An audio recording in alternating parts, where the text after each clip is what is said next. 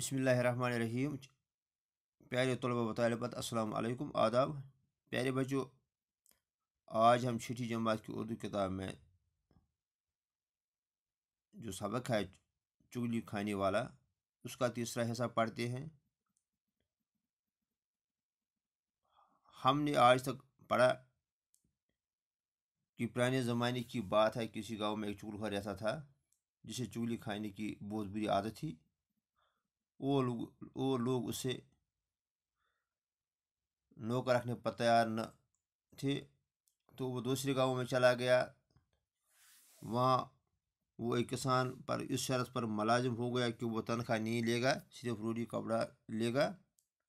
اس کے علاوہ ہر چھ ماہ بعد اسے کسان کی ایک چولی کھانے کی اجازت ہوگی۔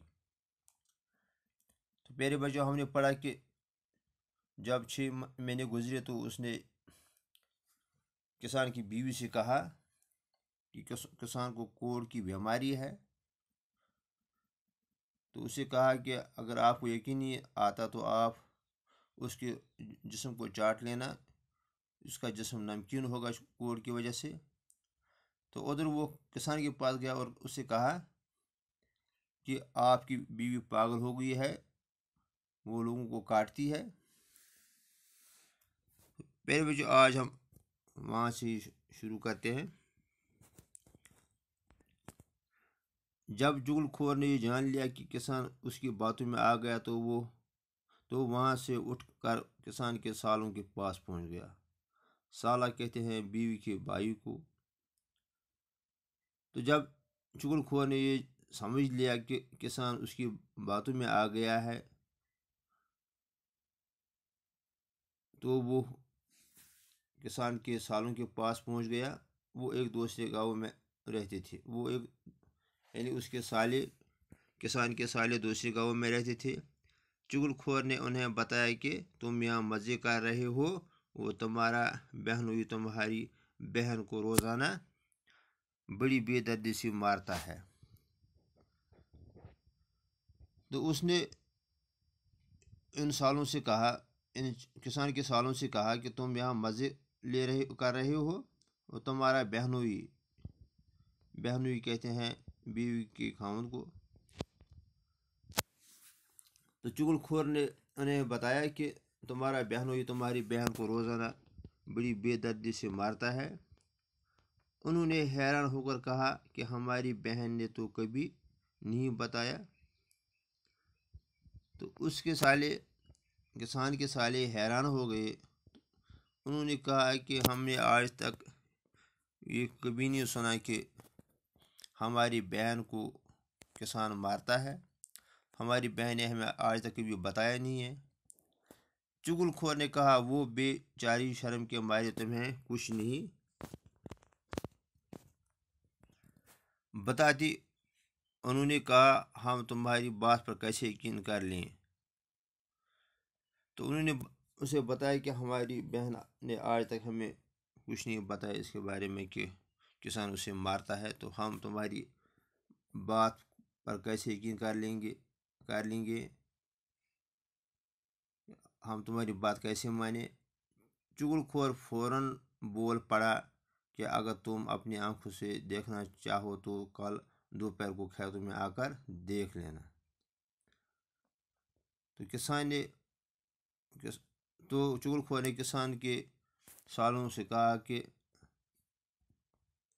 چگل اگر تمہیں اپنے آنکھوں سے دیکھنا ہے، اگر تم اپنے آنکھوں سے دیکھنا چاہتے ہو، تو کل دوپہر کو کھیتوں میں آ کر دیکھ لینا۔ وہ یہ بات سن کر لال ببو کا ہو گئی۔ لال ببو کا ہونا یعنی انہیں غصہ چڑھ گیا۔ نہایت سرخ ہو گئی یعنی ان کا چہرہ غصے سے سرخ ہو گیا۔ انہوں نے چگل خور سے کہا کہ کل ہم کھیت میں چپ کر یہ سب کچھ اپنی آنکھوں سے دیکھیں گے۔ تو کسان کے سالوں نے کہا کہ ہم کل کھیت میں چپ کر یہ سب کچھ اپنی آنکھوں سے دیکھیں گے۔ چگل خور وہاں سے رخصت ہو کر سیدھا کسان کے بھائیوں کے پاس پہنچا۔ تو چغل خور نے جب یہ بتایا کہ اس کے بعد وہ کس، کسان کے بھائیوں کے پاس چلا گیا۔ چگل خور ان سے کہنے لگا، تم اچھے ماں جائی ہو۔ تمہارا بھائی ہر چوتھے روز اپنی بیوی کے بھائیوں سے پٹتا ہے اور تمہیں ان، اس کو کوئی تمہیں اس کی کوئی خبر نہیں۔ چول خور نے کسان کے بھائیوں کو کہا کہ تم اچھے ماں جائی ہو۔ ماں جایا کہتے ہم سگے بھائی کو۔ تو ماں جائے اس کی جمع ہے۔ تو کسان نے، تو چغل خور نے کسان کے بھائیوں کو کہا کہ تم سگے بھائی ہو، تمہارا بھائی ہر چوتھے روز اپنی بیوی کے بھائیوں سے پٹتا ہے یعنی تمہاری بھائی کو ہر روز بیوی کے بھائی پیٹتے ہیں، ہر چار روز بعد پیٹتے ہیں۔ وہ تمہیں اس کی کوئی خبر نہیں ہے، تو تمہیں اس کے بارے میں کوئی علم نہیں آپ کو معلوم نہیں کسان کے بھائی غصے سے تل ملا اٹھے۔ تل ملا اٹھانا یعنی بے چین ہونا، تڑپنا۔ تو کسان کے بھائیوں نے جب بھی سنا کہ کسان، اس کے، ان کے بھائی کو، اس کی بیوی کے بھائی ہر چو، چار روز بعد پیٹتے ہیں، تو وہ بے چین ہو گئے۔